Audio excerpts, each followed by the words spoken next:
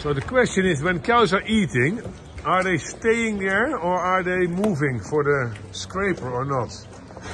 And, and that's why they put the little step here. But I don't like steps because cows are slipping from the steps and falling down. This cow, she's uh, staying here.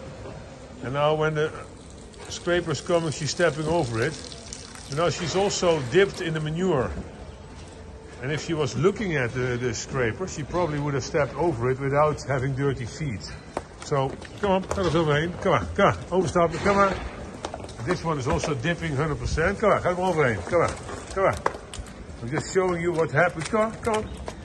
This, this cow is also having only the left foot was not touching anything. She was stepping here and then stepping out like this. So you don't want to dip your feet in the manure, and that's also a risk factor. The floor is very clean afterwards, but it's only one big disaster, and that is extremely slippery. It's a very dangerous floor.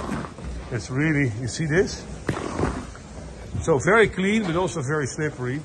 And uh, the discussion about this little step, we don't really need it or want it, but um, uh, it's not a it's not a very bad thing. But what we want is actually rubber floors, and maybe even more V V scrapers with a V shape, then you can step over clean in the corner.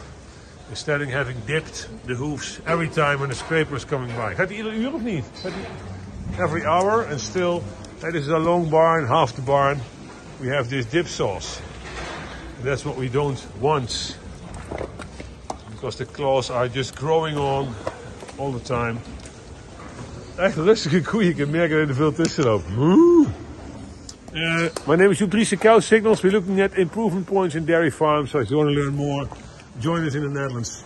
Amazing things you can learn about barn design and housing and happy cow behavior. Thanks for watching.